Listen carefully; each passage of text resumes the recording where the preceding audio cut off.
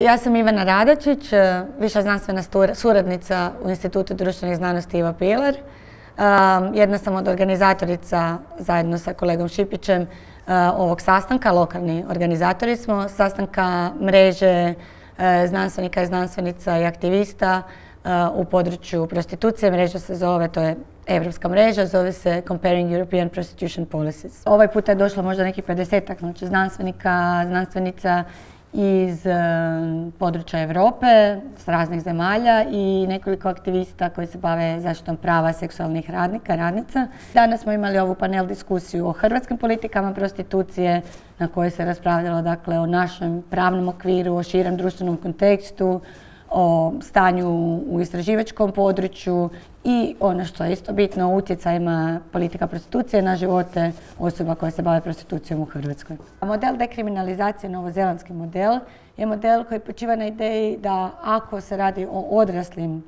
osobama koje imaju sposobnost donijeti odluku, da se to onda tretira kao rad i da onda postoji zaštita i u smislu radnih prava, pa postoje i pravila kako se onda poslodavci, znači e, voditelji, ne znam, bordela i ostalo trebaju ponašati, ali isto tako postavlja standarde kako policija i državna tijela trebaju postupati sa osobama koje se bave time u smislu njihove zaštite, pomoći i tako dalje.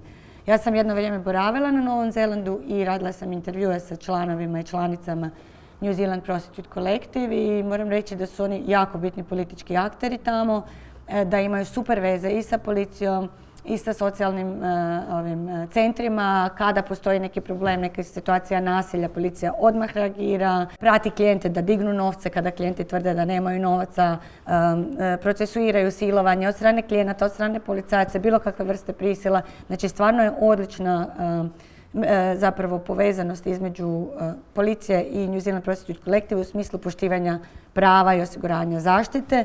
Isto tako kad se radi o maloljetnim osobama, New Zealand Prostitute Collective radi recimo sa social services da se pomogne e, osobama koje su maloljetne.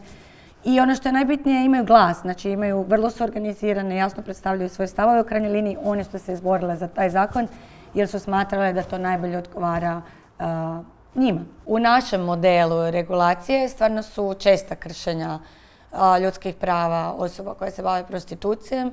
Prvo od toga da krenemo da je dijelo definirano, prekršajno dijelo, kao odavanje prostitucije. Pa sad što odavanje uopće znači i koji su dokazi tog odavanja. I koliko sam ja uspjela shvatiti iz analize sudske prakse, policija zna, ja govorim prvenstveno o ženama na cesti vidjela je te osobe i zapravo dođe u hit ih i žene priznaju jer niti imaju odvjetnika, niti baš nešto znaju o svojim pravima i u kontekstu stigme i marginalizacije nisu spremne e, boriti se protiv takvih praksi. Čuli smo i od same sutkinje da su ti sudski procesi jako brzi, da se sve zapravo događa po nekom defaultu u kojem one eto priznaju, priznaju bez zapravo da ima bilo kakvih drugih dokaza jer nemaju niti obranu niti znaju svoja prava i automatski im se manje više izriče svima slična presuda i to je nekakva ona šablona i za dva tjedna će ponovo doći. Ja sam vidjela u analizi sudske prakse da ima žena koje su godišnje po 12-13 puta pred sudom. Sutkinja je rekla da ima žena koje su 214 puta, ne znam u kojem vremenskom periodu. Znači sustav očigledno ne funkcionira.